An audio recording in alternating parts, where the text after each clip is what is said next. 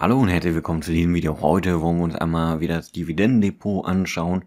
Dabei werden wir besonders erstmal auf die Dividenden schauen, denn das wird uns direkt ins zweite Thema einleiten, nämlich ich wurde wegen einer Aktie gefragt und da wollen wir einfach hier erstmal die Auswirkungen von den richtigen Auswahlen uns anschauen.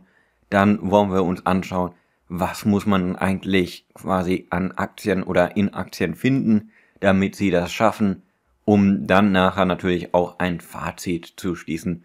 Ist das zum Beispiel jetzt eine gute Aktie, um in dieses Depot aufgenommen zu werden? Wie immer ist das hier keine Anlageberatung, sondern nur wie ich selber mein eigenes Geld hier investiere.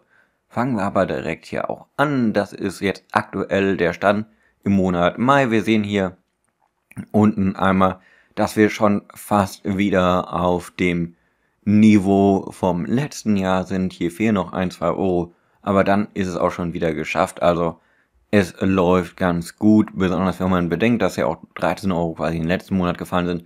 Aber das ist mir alles egal, deswegen nehme ich auch immer lieber gerne diese ähm, Übersicht. Wie immer, hellblau sind die akkumulierten Dividenden aus letztem Jahr. Dunkelblau ist mein Ziel plus 50% und hier in dunkelrot ist es der aktuelle Stand. Und aktuell sind wir selbst über 100% von dem, was wir hier letztes Jahr hatten. Und da scheint sogar nur noch Fahrt aufzunehmen. Also, ähm, ich bin auf jeden Fall ziemlich überrascht, dass das Ganze so gut klappt. Natürlich äh, wäre das ein Wunsch gewesen, aber dass solche Wünsche auch, ähm, ja, einfach so von einem Depot geschafft werden, ist dann doch immer auch, ähm, ja, verwundernswert zu sehen. Denn man plant ja immer viel, man kann sich viel ausrechnen, aber wie es am Ende ist, da muss man dann auch schauen und damit muss man dann arbeiten. Deswegen bin ich immer halt ähm, ein Fan davon, wenig zu planen, halt nur so zu planen, dass es klappt, aber nicht nachher zu sehen, wo man damit hundertprozentig dann landen wird, sondern einfach nur daran zu glauben, wenn man einen guten Plan hat, dass dieser dann auch zu guten Ergebnissen führt. Da werden wir aber auch ähm, ja, mal das gesamte Depot anschauen, denn ich habe ja einmal hier dieses Dividendendepot, aber ich habe ja noch ein anderes Depot, die mittlerweile auch fast ja schon Richtung gleichwertig ähm, ja, sind. Das andere ist immer noch ein bisschen ähm, höher gewichtet, glaube mit 60.000 Euro oder über 60.000 Euro aktuell. Also ähm, da ist natürlich auch noch ein bisschen an Dividende. Und wir sehen hier, aktuell dieses Jahr sind wir schon fast bei 1300 Euro. Letztes Jahr waren es fast 1900 Euro. Und wir haben ja hier noch ein bisschen, ja, äh, ja, was das angeht. Wir sehen ja auch, wir uns wählen gerade mal 31 Prozent vom letzten Jahr.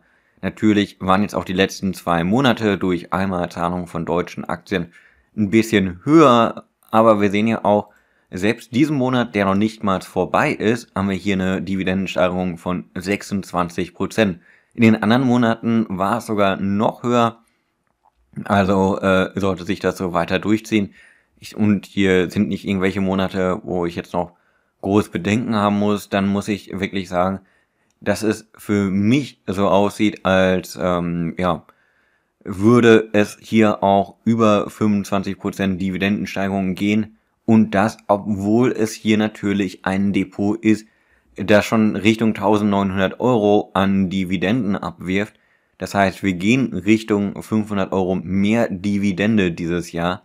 Und das habe ich eindeutig nicht durch Zukäufe gemacht äh, in meinem anderen Depot oder weil ja nur da investiere ich ja quasi auch mehr, sondern das ist wirklich dadurch entstanden, dass ich hier in Aktien investiere, die jedes Jahr ihre Dividende steigern.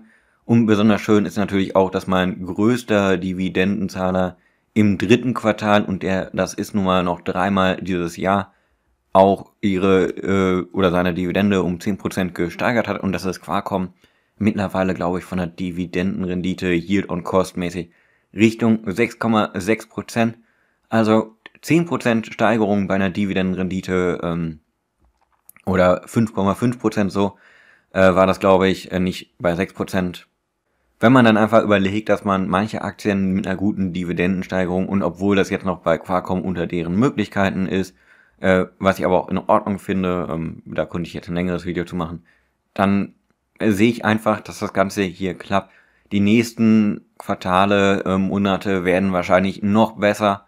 Also ich habe da im Moment wirklich keine Sorgen, dass meine Strategie hier nicht klappt und dass man auch nachhaltig sehr gutes zweistelliges Wachstum, letztes Jahr war schon 11%, ist jetzt schon ein bisschen besser gewesen als 2020, okay. Ähm, da hatte ich aber auch teilweise die Konsequenzen daraus gezogen und deswegen muss ich hier sagen, äh, scheint das Ganze so zu laufen, wie es sein sollte. Aber jetzt natürlich die Frage, das sind die Auswirkungen von meinem Plan. Was muss man hier in den einzelnen Aktien halt finden, damit ein solcher Plan von Dividendensteigerungen pro Jahr 20% auch wirklich klappt? Und dazu werden wir einfach hier mal ins Depot springen und dann werden uns wir die Top-Werte auf jeden Fall hier einmal anschauen. So, dann schauen wir hier noch einmal kurz auf die Performance diese Woche. Wir sehen hier 1,1% plus diese Woche. Ist auf jeden Fall wieder eine leichte Erholung gewesen, gerade die letzten beiden Tage. Und ja, mittlerweile trennt sich einfach die guten Aktien von den schlechten Aktien. Die etwas besseren Aktien kommen halt auch wieder zurück und die schlechten Aktien bleiben halt auch einfach mit ihren 70% Verlust irgendwo auf dem Boden. Und ja, also tut mir natürlich leid für alle, die in solche Aktien investiert sind. Aber man sieht ja auch bei mir mittlerweile, es ist eigentlich nicht groß viel im Plus, das was äh, wirklich, äh, oder viel im Negativen, das was wirklich hier im Negativen ist, kann ich auch mehr als verkraften. Ich weiß, dass Innovative Industrial Properties gerade extrem unter Druck steht von Shortsellern. Das mache ich mir äh, zu nutzen. Denn hier weiß man nie, das kann ganz, ganz schnell gehen bei Innovative Industrial Properties dass sie wieder zurückkommen, gerade Richtung halt Marktdynamiken, also Stichwort äh, Short Squeeze, dann können sie auch mal ganz schnell wieder ähm, ja, überbewertet werden. Deswegen kaufe ich, solange ich die Chance habe. Genauso weiß ich auch, dass ich der beste NL Black Entdecker hier weiterhin Kursverluste einfahren werde. Das war aber von vornherein geplant, aber das Gute ist, ich kann für mich diesen Verlust einfach verschmerzen.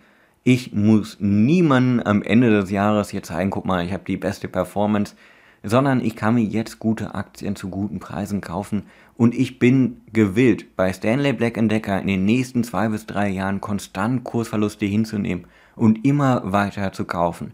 Ich weiß aber nicht, ob das in den nächsten zwei bis drei Jahren so sein wird oder vielleicht schon nächste Woche wieder hier ein dickes, fettes Plus steht.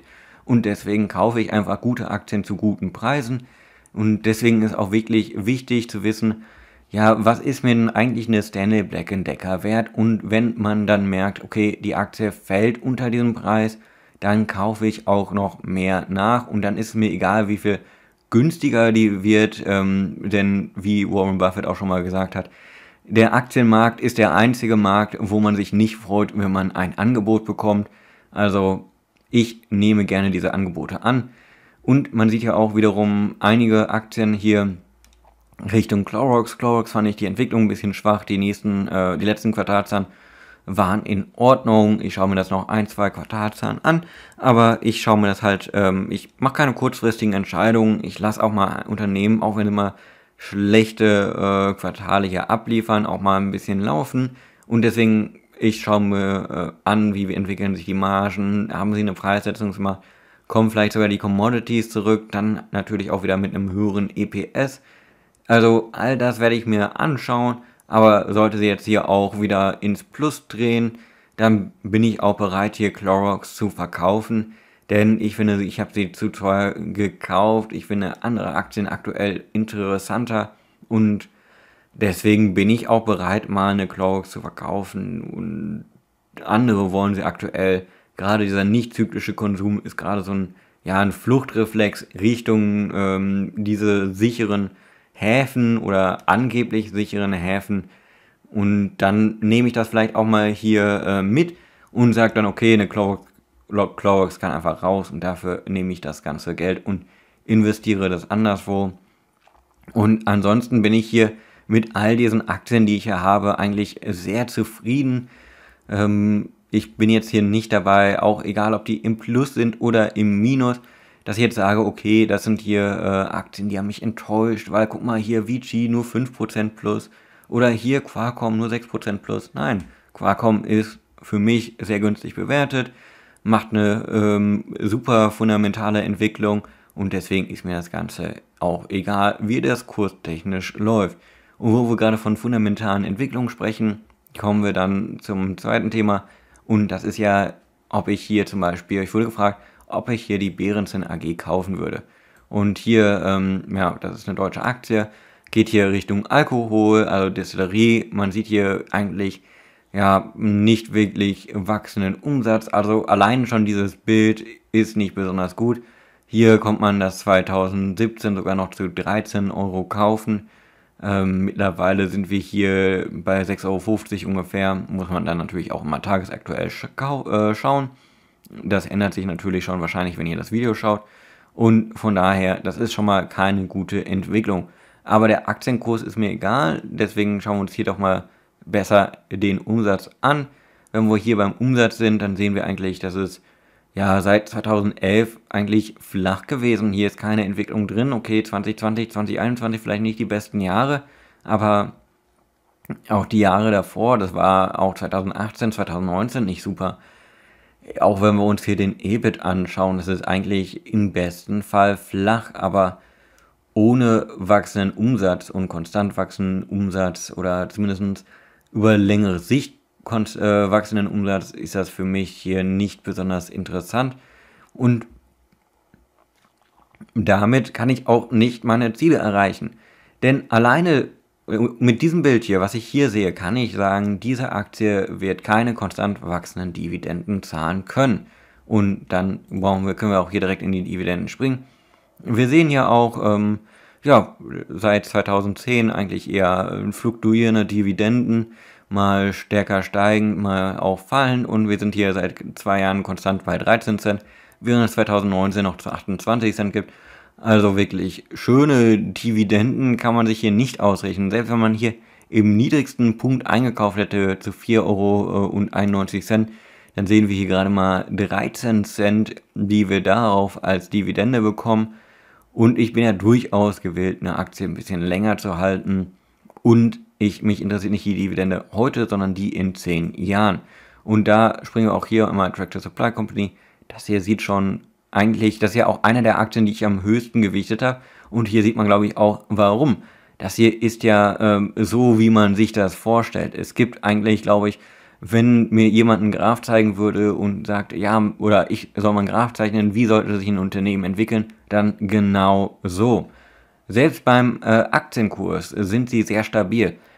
Tractor Supply Company ist äh, einer der Aktien, äh, zum Beispiel mit Church White zusammen, die während äh, Krisen eigentlich am besten laufen. Also wer halt eine geringe Volatilität gerade in Krisen will, der ist hier bei äh, der Tractor Supply Company eigentlich genau richtig. Und das nun mal so nebenbei. Und jetzt gucken wir uns das an. Wie ist das hier eigentlich mit den Umsatz und EBIT gelaufen? Wenn wir uns den Umsatz anschauen, konstant wachsen. EBIT hier mal äh, zwei, drei Jahre etwas flacher, aber der Umsatz ist wenigstens noch gewachsen. Und ja, das ist mal in Ordnung, wenn es dann halt mal ein, zwei Jahre ähm, seitwärts geht.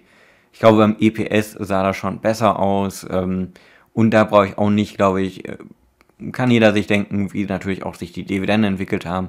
Nämlich konstant steigend. Das hier ist, glaube ich, ein Datenfehler in 2016. Also das kann man hier, glaube ich, missachten. Und da kann man sich auch anschauen, was ist denn, wenn man hier sich nicht für die Dividende aktuell interessiert, sondern die in 10, 12 Jahren. Und dann sieht man hier, der niedrigste Preis in den letzten Jahren lag hier bei ungefähr ähm, 7 Euro oder Dollar. Ich glaube, das hier ist in Dollar. Und ähm, wenn wir uns das hier dann natürlich auch 2021 anschauen, dann sehen wir hier, dass wir etwas über 2 Dollar an Dividende bekommen haben. Und das ist auf jeden Fall eine sehr gute Dividendenrendite Richtung 30 Prozent. Äh, wenn ich das jetzt einmal im Kopf ausrechne, wahrscheinlich ein bisschen drunter. Und das ist gar nicht mal so schlecht. Und äh, 30-prozentige Dividendenrenditen, das ist doch das, was man eigentlich hier haben will. Dabei muss nicht jede Aktie ähm, immer so perfekt sein. Es gibt auch andere Aktien, da sieht es ein bisschen anders aus. Äh, wenn wir uns hier ja, äh, die Delays anschauen, dann sehen wir hier eigentlich zwischen 2007 und 2014 ja relativ flach, aber in den letzten Jahren macht das Management sehr gute Entscheidungen Und das lässt sich hier auch wirklich beobachten. Dann schauen wir uns das Ganze an. Ähm, wenn wir hier dann auch runtergehen, wieder ähm, Richtung Umsatz und operativer Gewinn, also EBIT, dann sehen wir hier das gleiche Bild. Ja, wir hatten zwischen 2007 und 2014 also wirklich sieben Jahre Durchstrecke. Aber was in den letzten Jahren ist, und da muss man halt sagen, okay, wird das halt auch wieder so bleiben? Für mich eigentlich ja. Und da habe ich der Hotel Hayes halt das Vertrauen gegeben und da wurde ich auch nicht enttäuscht. 2019 gekauft, glaube ich, oder 2020, aber auch 2021 sieht alles in Ordnung aus. Und, ähm, und dieses Jahr wollen sie halt noch recht viel investieren, um für die äh, Zukunft gewappnet zu sein. Das ist, drückt einmal natürlich aktuell auf den Kurs, aber wir sehen hier konstant steigenden Gewinn, konstant steigenden Umsatz und damit können wir uns eigentlich auch schon wiederum die Dividenden ausdenken. Und hier sieht man auch, ähm, ja, hätte man hier zum Tief gekauft, natürlich, äh, 2008 hätte man eigentlich alles kaufen können. Dann ist es aktuell so, dass man hier 95 Cent Dividende bekommt und das gerechnet natürlich hier auf einen ähm, Aktienkurs von äh, 7 Euro dürfte es dann hier wiederum sein, weil das natürlich eine europäische Aktie ist. Dann ist man über 10% Dividende und die wird auch recht gut gesteigert. Was man hier sieht, sind einmal äh, die Auswirkungen von Sonderdividenden und das Auszahlungsmuster, was sie aktuell haben. Denn letztes Jahr wirklich im Kalenderjahr gab es nur 83 Cent. Das ist komplett richtig hier angezeigt. Also ähm, das ist kein Anzeigefehler. Aber wenn man sich anschaut, wie sie Dividenden zahlen, dann ist nämlich die äh, letzte Dividende für 2021 jetzt gekommen, letzten Monat. Und das bedeutet natürlich, dann müssen wir nicht aufs Kalenderjahr schauen, sondern auf eher aufs Fiskaljahr und da im Fiskaljahr die Konsta äh, Dividenden konstant steigen, sehe ich äh, das Ganze auch recht positiv. Besonders wenn man sich hier auch einmal anschaut mit der Sonderdividende Richtung 2015, die man hier auch bekommen hat, dann hätte man einmal hier einen saftigen Zahltag bekommen und äh, wenn ich jetzt mich nicht täusche, dürfte das natürlich auch Richtung äh, 25 Prozent gehen. Und das ist natürlich dann auch wiederum ordentlich. Und hier sieht man auch wieder einen konstant wachsenden ähm, Chart, einfach was den Preis angeht. Also Behrensen Group ist natürlich ähm, ja, berechtigt hier seit mehreren Jahren einfach nur in einer Seitwärtsbewegung, da sie auch fundamental nicht wirklich konstant steigenden Gewinn und konstant steigende Dividenden einfach hier hinbekommen. Also deswegen, wenn ihr euch eine Aktie anschaut, achtet darauf, dass sie konstant steigende Gewinne zahlt, konstant steigende ähm, Umsätze äh, auch hat. Denn nur daraus kann man auch konstant steigende Dividenden zahlen. Das soll es jetzt aber auch gewesen sein. Ich hoffe, euch hat dieses Video gefallen. Tschüss, bis zum nächsten Mal.